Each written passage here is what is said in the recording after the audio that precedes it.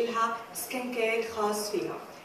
موعد يومي يجري افتراضيا أصبح جزءا أساسيا من حياة الناشطة على مواقع التواصل الاجتماعي ديما صبلبن نشاطها لساعات طويلة حقق لها مكاسب مالية. دفعتها إلى التوقف عن البحث عن عمل مرتبط بمسارها الأكاديمي المختص بالسياحة غير أن التوجه إلى الاعتماد على منصات التواصل يخضع اليوم من يحقق عوائد منها إلى دفع ضريبة.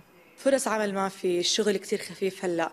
فالشباب ال social media وبنات ال social media يعني عم بيلاقوا هلأ طريقة مشان يطلعوا فيها فلوس آه، سواء بالإعلانات أو كيف كانت الطريقة. فأنا شايفة لا إنه أنا ضد صراحة الضريبة اللي انفرضت. خلي الناس تسترزق. دائرة ضريبة الدخل الأردنية بدأت بفرض الضريبة على من يجنون دخلا من المنصات الرقمية حيث أعلنت أنها تقوم باستدعاء من يحاول التهرب من الدفع مشيرة في إعلانها إلى أن أكثر من 300 من مشاهير الناشطين تتجاوز مداخيلهم السنوية 100 ألف دينار أردني.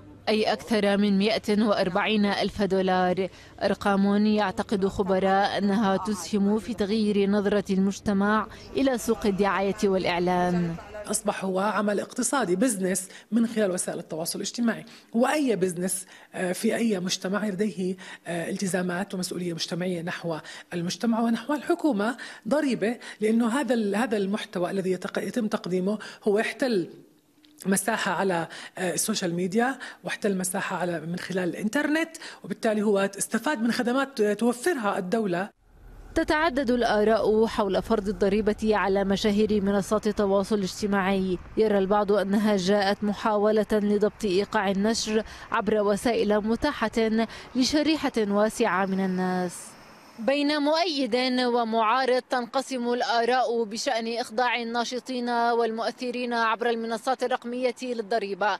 هؤلاء يرون أن نشاطهم ملمح من ملامح العصر الرقمي فضلا عن أنهم جعلوا منه مصدر رزق غير أن دائرة ضريبة الدخل ترى منه نشاطا يجب أن يخضع للقانون. هدي النماس العربي عمان.